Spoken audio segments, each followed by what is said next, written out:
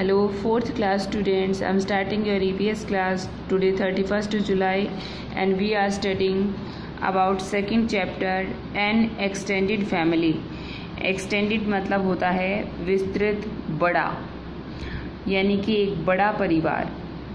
Let's learn about इस chapter में हम क्या क्या पढ़ेंगे, इस चैप्टर में हम स्टडी करेंगे एक्सटेंडिड फैमिली यानी कि विस्तृत परिवार फैमिली गैदरिंग जो परिवार के लोग इकट्ठा होते हैं, गैदर होते हैं। गुड फैमिली एनवायरनमेंट, परिवार के लिए अच्छा वातावरण। देखिए, यहाँ पे मेहिका और राधिका हैं। मेहिका राधिका से पूछती है, hi Radhika, do you do you know the meaning of extended family? Radhika, क्या तुम एक्सटेंडेड फैमिली का मतलब जानती हो? तुम राधिका क्या कहती है मिका से yes Mika uncles, aunts, cousins, and nephews who do not live with us are our extended family. हमारे चाचा जी चाची जी हमारे जो भाई बहन हैं नेफ्यूज़ हैं जो हमारे साथ रहते नहीं हैं ठीक है या हमारी जो बुआ जी वगैरह हैं जो हमारे साथ रहते नहीं हैं वही क्या है, हमारी एक्सटेंडेड फैमिली है। देखो, हमारी फैमिली के ऐसे बहुत सारे मेंबर्स होते हैं जो हमारे साथ में रहते नहीं हैं। लेकिन होते तो वो हमारे फैमिली के मेंबर्स ही हैं, उनको फिर हम रिलेटिव्स में काउंट करने लग जाते हैं। ठीक है? तो वो हमारी एक्सटेंडेड फैमिली है। जैसे हम अभी यहाँ पे स्टडी करेंगे, देखना आपको समझ आ जाएगा। The people whom we live with are our immediate family the people लोग होम वी लिव जिनके साथ हम रहते हैं आर अवर इमीडिएट फैमिली वो हमारी इमीडिएट फैमिली है। मतलब अभी आप जिनके साथ रह रहे हो, जो आपकी फैमिली में मेंबर्स रह रहे हैं, वो आपकी इमीडिएट फैमिली है। कैसी फैमिली है वो? इमीडिएट फैमिली है। Parents brothers sisters and grandparents make up our immediate family. Mostly हमारे घर में कौन रहता है? दादा, दादी रहते हैं, मम्मा, पापा रहते हैं और हमारे सिस्टर ब्रदर रहते हैं। तो वही क्या है? हमारी इमीडिएट फैमिली है। वो हमारी इमीडिएट फैमिली है। अब हम पढ़ेंगे extended family family members like our uncles, aunts, cousins, and nephews are our extended families. हमारे परिवार के सदस्य जैसे अंकल आंटी कजिन नेफ्यूज ये सभी हमारी एक्सटेंडेड फैमिली हैं जो फ़िलहाल हमारे साथ रह रहे हैं जो हमेशा हमारे साथ रहते हैं वो हमारी इमीडिएट फैमिली है। ये वो मेंबर है जो हमारे साथ रहते नहीं है, लेकिन हैं हमारी फैमिली के मेंबर्स ठीक है? तो वो एक्सटेंडेड फैमिली हो गई। The relative from our father side are called paternal relative जो हमारे पापा की साइड के जो रिलेटिव्स हैं, उनको हम पैटर्नल रिलेटिव्स कहते हैं, ठीक है? जैसे पापा की साइड के रिलेटिव कौन हो गए? हमारे चाचा हो गए, हमारी बुआ हो गई, हमारे दादा दादी हो गए। ठीक है, कोई अगर ताऊ ताई जी हैं तो वो हो गए। तो ये हो गए हमारे paternal relatives the relatives from our mother's side मम्मा की साइड के the relatives from our mother's side are called maternal relatives मम्मा की साइड के जो रिलेटिव्स होते हैं, उनको मैटरनल रिलेटिव्स कहते हैं। मैटरनल रिलेटिव्स कौन से हैं? मम्मा की साइड के रिलेटिव्स कौन से हैं? लाइक अवर नाना नानी, मामा मामी और उनके जो बच्चे हैं, ठीक है, वो मैटरनल रिलेटिव्स में आ गए।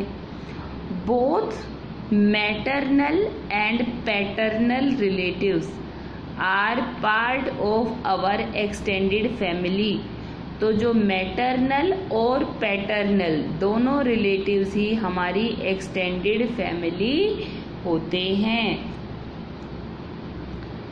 कीपिंग इन टच ध्यान में रखने वाली बातें। When our extended family members live in the same town और city we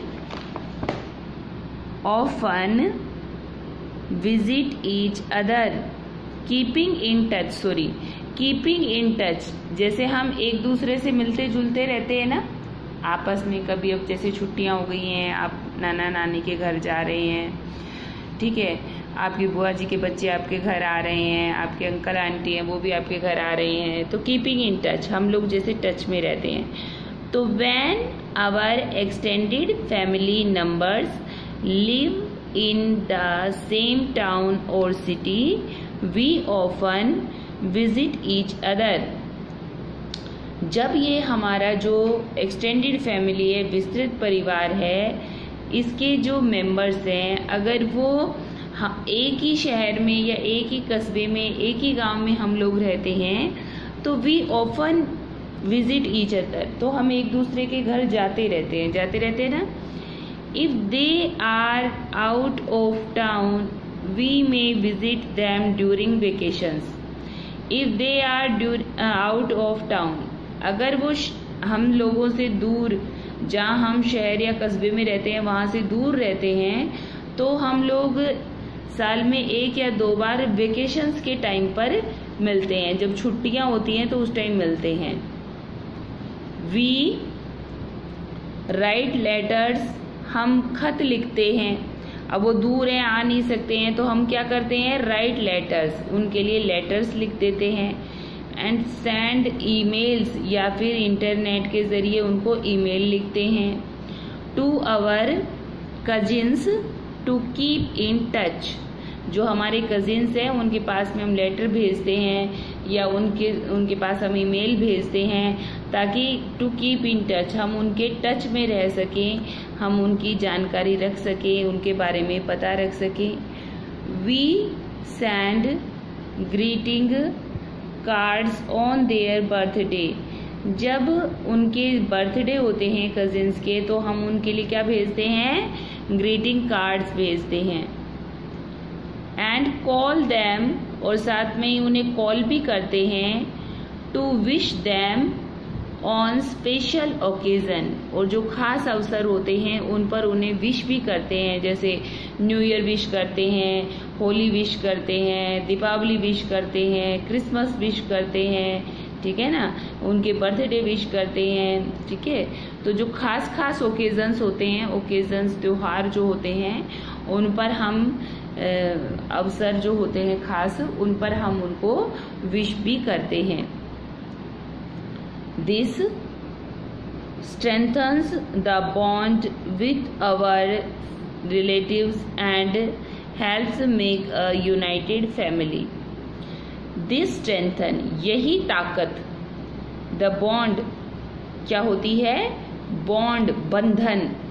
with our relatives, हमारे रिश्तेदारों के साथ यही एक जो ये बंधन जो है, ये एक ताकत ताकत बन जाती है, एक बंधन बन जाता है मिलजुल कर and helps make a united family और हमारा परिवार जो होता है, वो यूनाइटेड हो जाता है, संगठित होता है। जब कभी हमारे घर में कोई मेंबर की तबीयत ख़राब हो जाती है, वो हॉस्पिटलाइज हो जाता है, या हमारे घर में कोई बड़ी परेशानी आ जाती है तो आप देखते होंगे कि हमारे सभी ये जो एक्सटेंडेड फैमिली मेंबर्स हैं, ये इकट्ठा हो जाते हैं, हमारी हेल्प करते हैं, या हम दूसरों की हेल्प करते हैं। तो इससे क्या समझा जाता है कि हमारा, हम सब अलग अलग रहते हैं, लेकिन हम यूनाइटेड फैमिली हैं, एक ही परिवार हैं, जब भी कभी परेशानी आती है तो हम सब एक नज़र आते हैं, ठीक है?